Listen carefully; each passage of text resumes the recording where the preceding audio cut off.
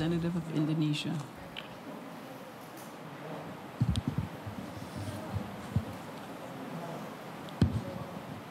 Madam President, I'm taking the floor to exercise Indonesia's right of reply to the statement made by Vanuatu.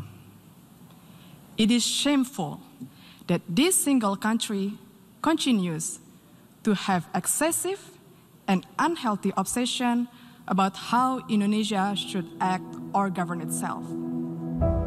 Silvany Austin Pasaribu's name became the talk of the town after she talked back the Vanuatu representative at the United Nations General Assembly in 2022.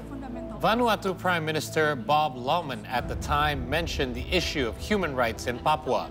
The speech was responded to by Indonesian diplomat Silvany Austin Pasaribu. She stated that Vanuatu interfered too much in Indonesian affairs. And during that same occasion, she also said that Vanuatu did not represent the Papuan people.